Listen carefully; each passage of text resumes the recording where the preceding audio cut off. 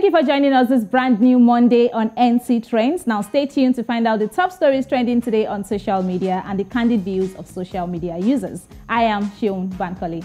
The Nigerian Minister of Works and Housing, Babatunde Fashola, says he does not know what has become of the video camera he found at the Lekki toll gate in the wake of the EndSARS protest in October 2020.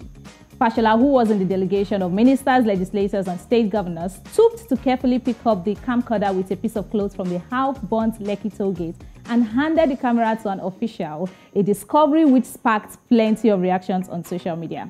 Now, that footage of Fashola snooping around the scene became meme materials for weeks. Now, in a recent interview, when asked what has become of the camera, Fashola said, and I quote, You should not be asking me. You have the tapes showing that I handed it over to the government of Lagos, so you have all the recordings. Don't ask me what happened to the camera. I don't know. End of quote. While this response has woken up Nigerian tweeps online. Here are a few of their comments. Nelly Agu says the camera grew wings just as it flew down to where you are, to where you were as James Bond picked it. Well done, actor. Hashtag Fashola. Here's another comment from Olisa Osega. She says this guy was once tipped for president by a lot of people back then. That was how, how highly rated he was. Whew. Whatever happened to Fashola though? Okay, another comment from at Softboy B. The people that were here when he picked up this camcorder would have had the best live show of their lives. All right, we move now to Ghana where journalist Albert, a young online reporter with username at Bongo Ideas, has been trending for some hours now. In a funny twist of events, the highly opinionated blogger found himself in a big mess after he appeared on GH1 TV's audition for the next TV star. Well, Ghanaian media personalities Nana Aba, Serwaa Amihere, and Bridget Otto were the judges during the audition, and it turned out that the journalist Albert had insulted them on social media in the past. So Nana Aba asked him to be bold enough and say to their faces all that he had been posting on Twitter, but he was reluctant, and he also refused to apologize, and he was eventually asked to walk out. There have been lots of reactions to the now trending audition video. Ghanaian celebrities weighed in on the issue, and the blogger himself has come out to narrate all of what transpired, earning him even more bashing online.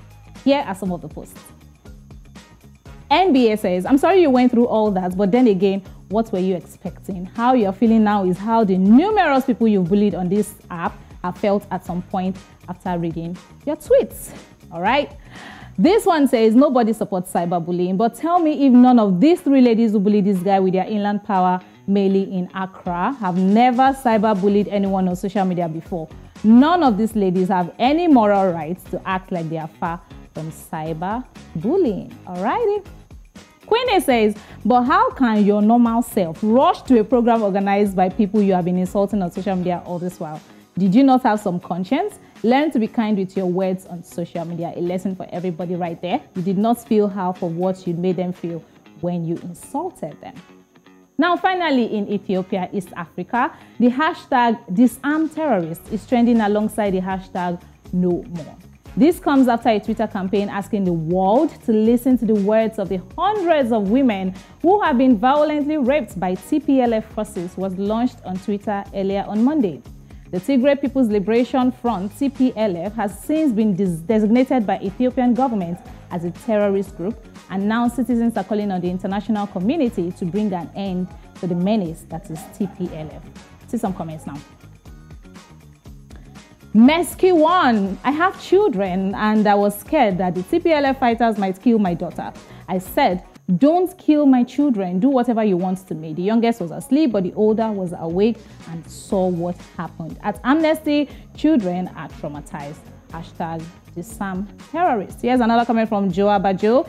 Three of them raped me while my children were crying at Amnesty. This is the testimony of TPLF gang rape victim among hundreds in Amhara. When Twitter is silencing pro-Ethiopians, it is also silencing victims victims are really suffering. Hashtag no more, hashtag silence disarm terrorists.